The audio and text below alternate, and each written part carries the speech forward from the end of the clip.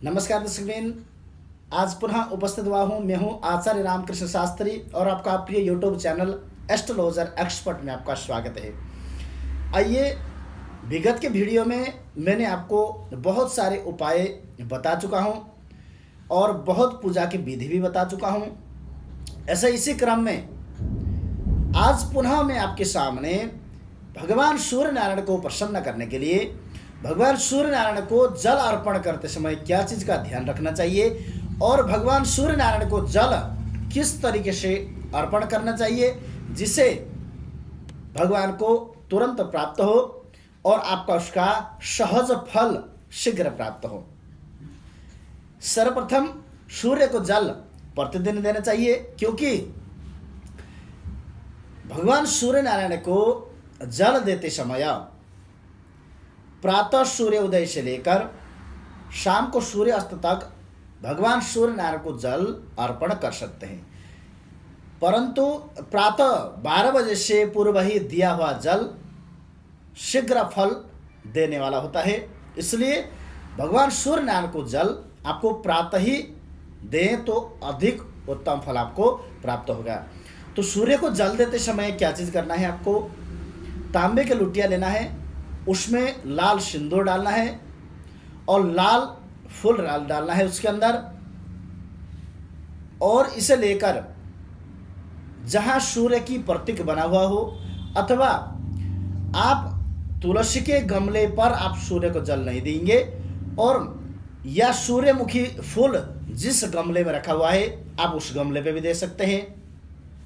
परंतु एक चीज़ मैं देखता हूँ, सूर्य को जल प्रतिदिन देने वाले भी इस नियम को ना जानने की वजह से अथवा लापरवाही करने की वजह से सूर्य का पूजन करने का फल प्राप्त नहीं होता।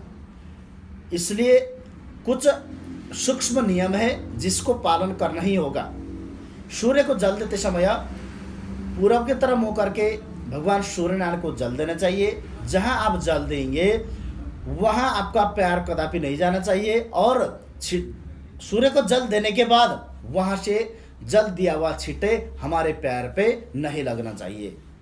तो आइए मैं बताता हूँ आपको किस प्रकार से सूर्य को जल अर्पण करना है। सूर्यमुखी फूल लाकर एक गमले में रखे, जिसमें मिट्टी रख के, थोड़ी अपने पैर से ऊंचाई स्थान पर रखें उनको और जल दें।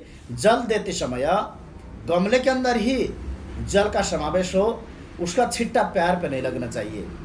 और जब सूर्य को जल देंगे तो हाथ ऊपर करके जल दिया हुआ उस जल के माध्यम से आप सूर्य को दर्शन करें और मन में ओम घृणी सूर्याय नमा अथवा ओम आदित्याय नमा इस मंत्र का आप जाप करेंगे। इस तरह से आप सूर्य को जल देंगे। जल देने के बाद दिया हुआ जल लेकर आप अपने नेत्र पे लगाएँगे। नेत्र पे लगाकर अपनी मनोकामना उच्चारण करेंगे। इस तरह से सूर्य को जल देंगे। और भी मंत्र आपको कुछ नहीं याद है, तब आप गायत्री मंत्र के द्वारा भी भगवान सूर्य नारायण को जल अर्पण कर सकते हैं।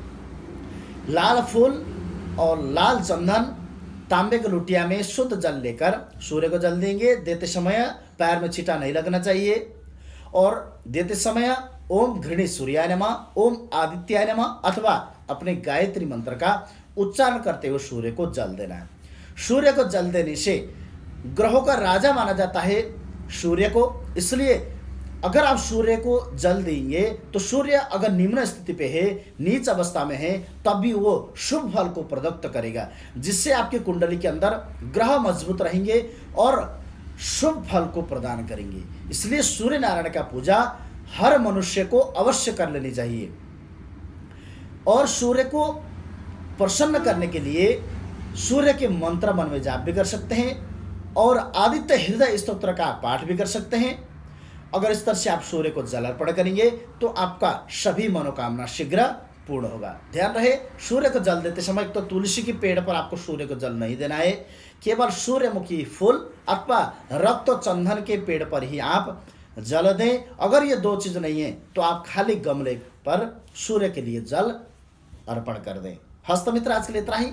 फिर एक और विधि लेकर मैं आपके सामने उपस्थित रहूँगा। हरिओम